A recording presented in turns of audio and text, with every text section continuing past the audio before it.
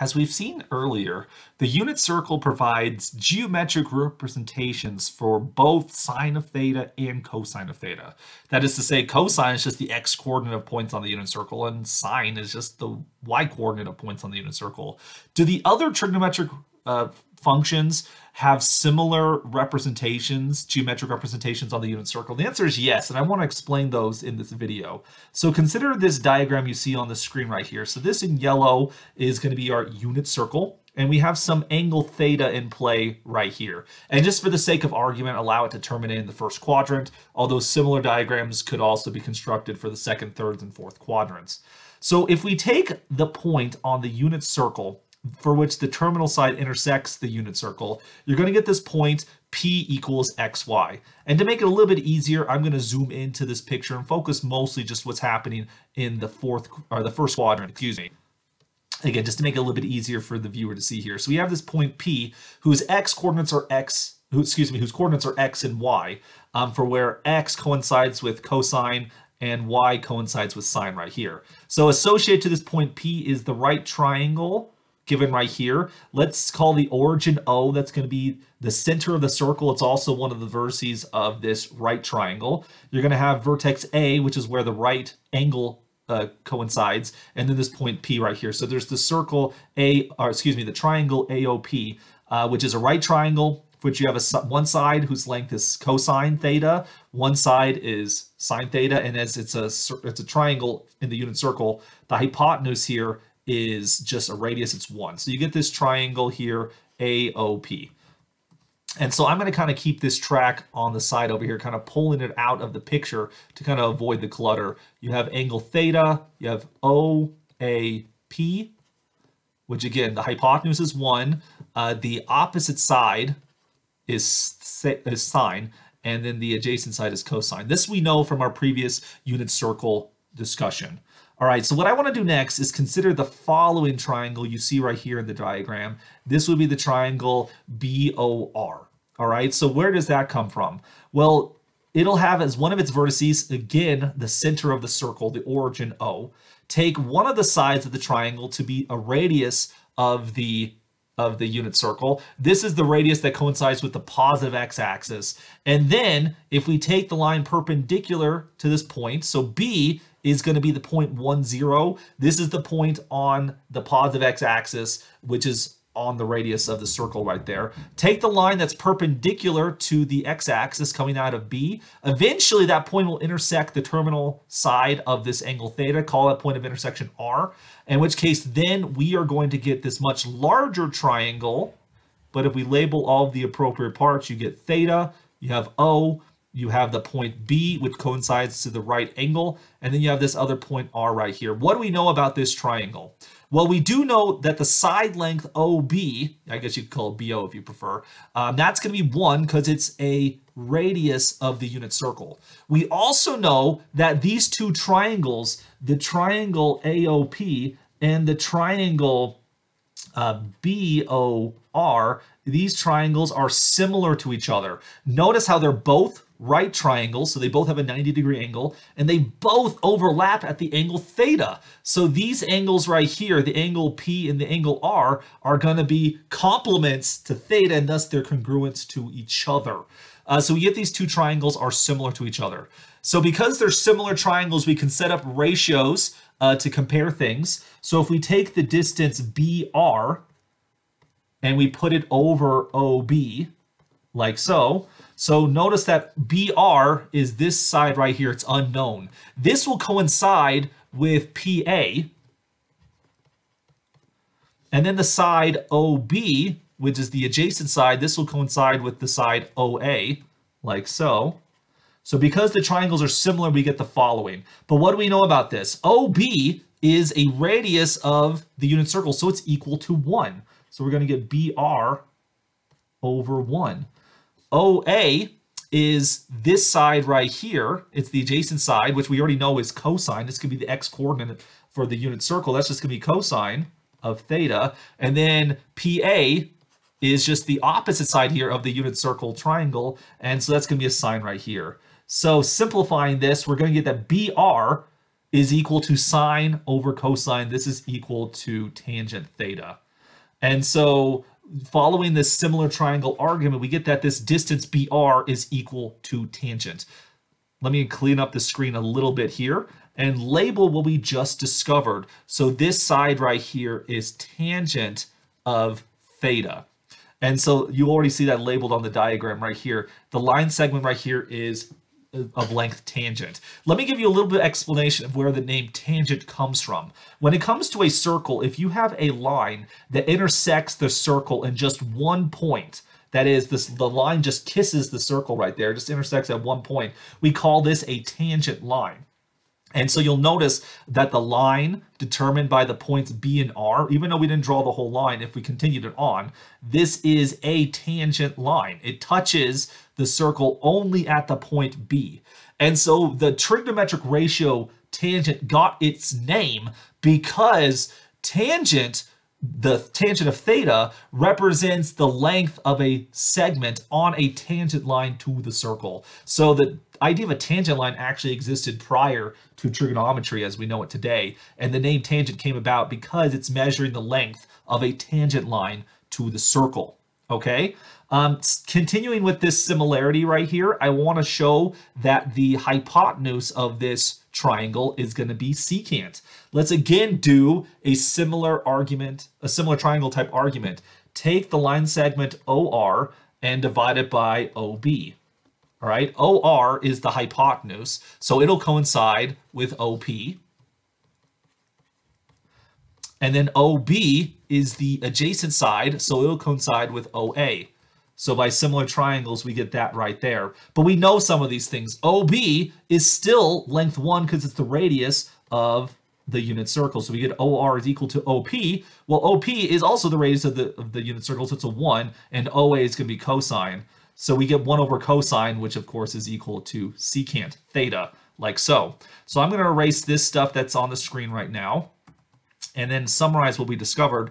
The line segment OR is equal to secant of theta. And so this distance right here, the distance from O to R, is equal to secant of the angle theta. Now let me give you a little bit of explanation where secant came from. I'm gonna have to zoom out a little bit to do this correctly.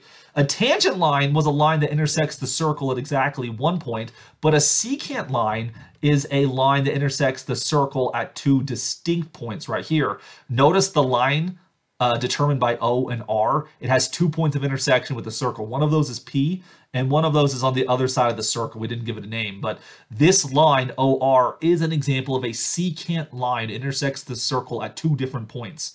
And therefore, the trigonometric ratio secant of theta got the name secant because it's measuring the line segment of an associated secant line of the unit circle. So tangent was named after a tangent line. Secant was named after a secant line. The other two, uh, cotangent and cosecant, uh, they'll get similar considerations, but it comes from taking complements here. So we're going to have to set up a different similar triangle here, uh, but we can do as much. We're going to show that the triangle AOP is similar to the triangle make sure I get this one correct here. Uh, we're going to get the triangle QOC. Whoops. QOC, which if you haven't noticed, that's this triangle right here on our diagram, QOC. So by uh, so so let's consider what's going on here. So we have a line segment right here. So C is to be the point zero one. So this is one radius that the radius of the unit circle that coincides with the positive y-axis. The point of intersection between the positive y-axis and the unit circle will be the point zero one. Call that point C. Let's take the perpendicular that comes out, the perpendicular line that comes out of this point C that's perpendicular to the y-axis, that is. This line will eventually intersect the terminal side of our angle theta, call that point of intersection Q. And so we get this line segment right here, the CQ uh, line segment. And then these three points C, Q in the center of the circle, the origin, form a triangle. And I claim this triangle is similar to the original triangle AOP.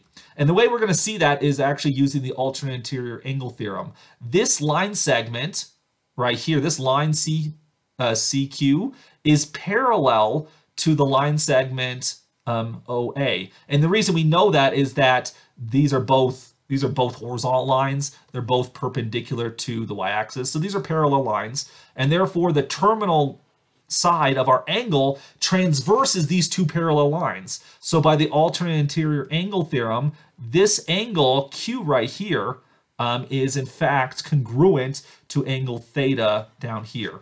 And so moving things around, you're going to see, I'm going to do this in a different color to emphasize it here.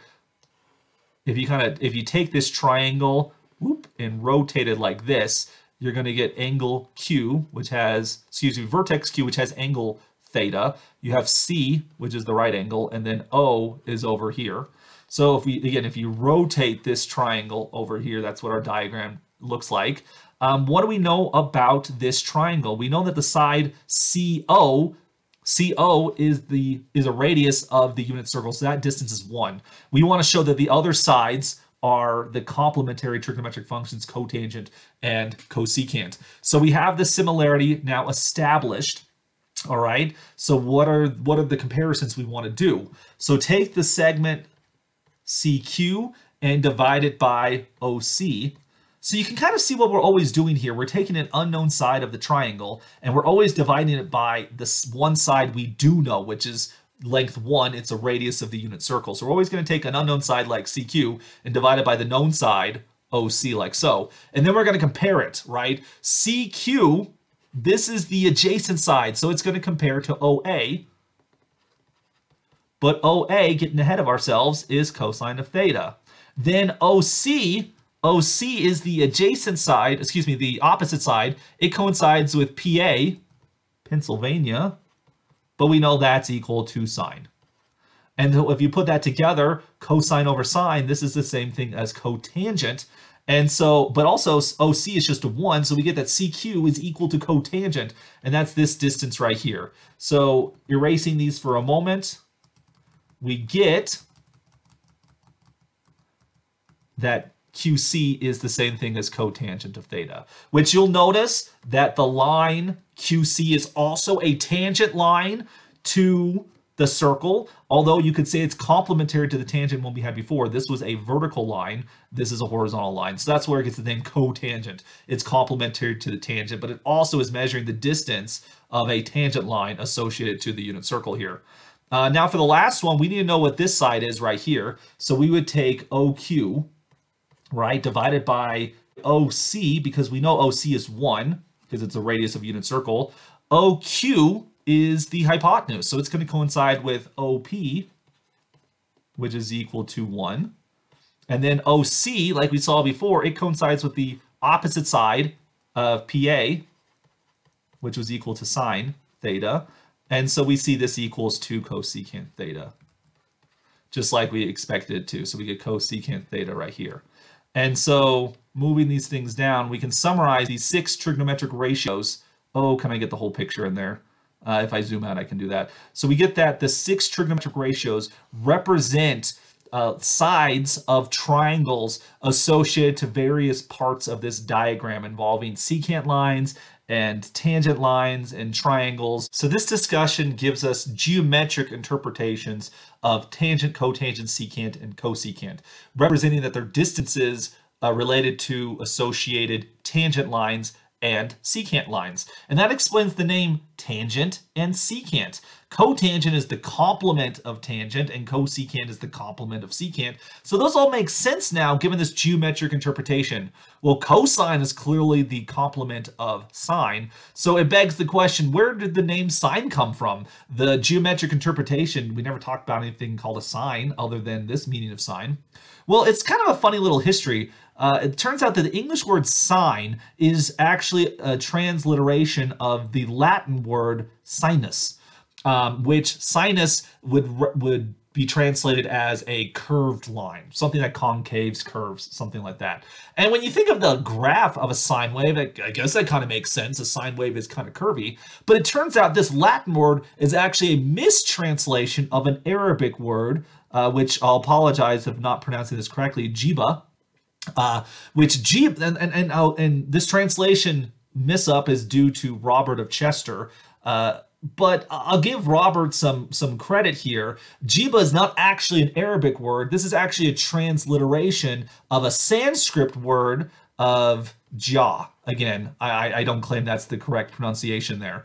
Uh, for which jya in Sanskrit, that is to the Indian mathematicians, this would represent a half chord which a chord is kind of like a secant line. A secant line is a line that intersects a circle at two points. A chord is a line segment that intersects a circle and two different points. And so if you think of the line sine right here, sine is half of a chord, the other half being down here. And then cosine is also half of a chord in a complementary manner here. And so if you go back to the original Sanskrit, sine has that same name. It's a half chord. Uh, but because of some various translation complications, we get this artificial term sine in the English language. Kind of funny, huh?